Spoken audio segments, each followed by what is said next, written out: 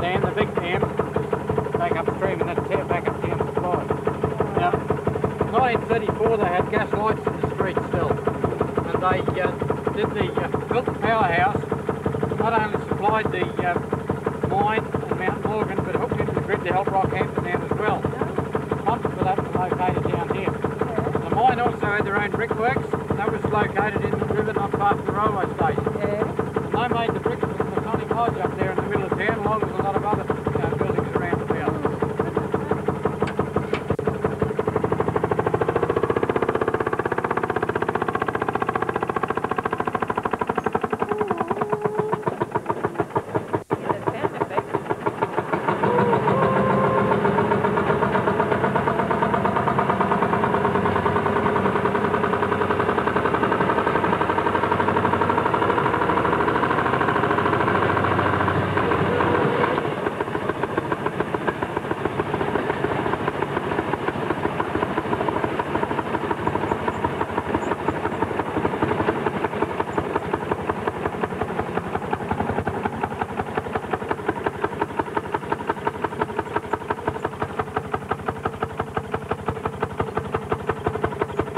Now this used to be the original entrance into the mine. When they started to bring coal and cotton out of the north from the Callide Valley, they built the tunnel back there in the cutting and put the road in over the top.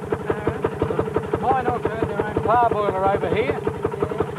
That- They used that uh, own roads as well as one street in town per year. Now, alongside us, there's a bit of a dribble us there. That used to be Linda Gully and it started on the eastern side of Ironstone Mountain.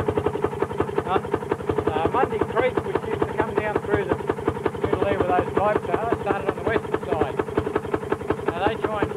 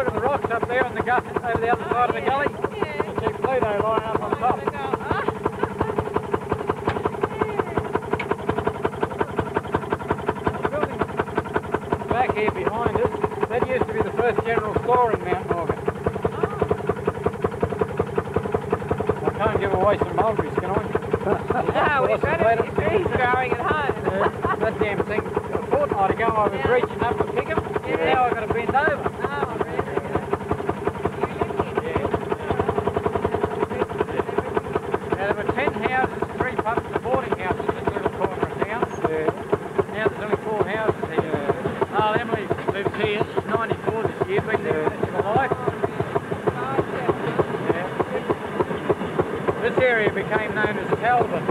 In Aboriginal it means stone blubber or curlew. And uh, they used to start the blind picnic trains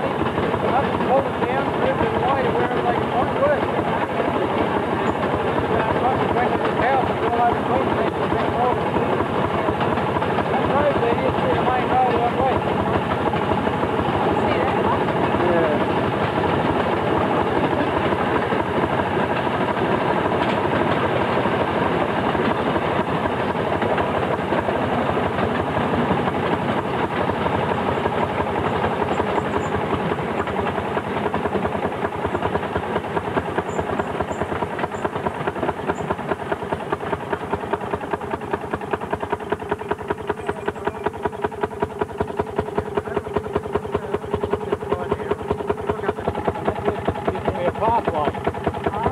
Japanese 80 used to deliver groceries on his push bike when he was a kid, and he can recall wheeling his bike up the loaded with groceries.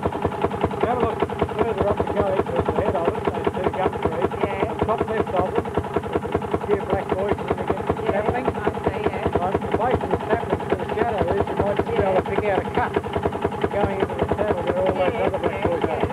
That's all that remains of the road that started way over by the showground way around up and over the hill and down over the other. Now here on the right hand side, this is known as Swift Gully Falls.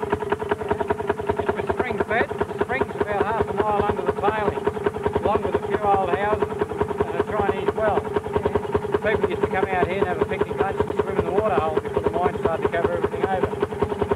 The Chinese well, I reckon it's Irish hasn't got, a- hasn't got a windlass on it. It's got a staircase built inside it.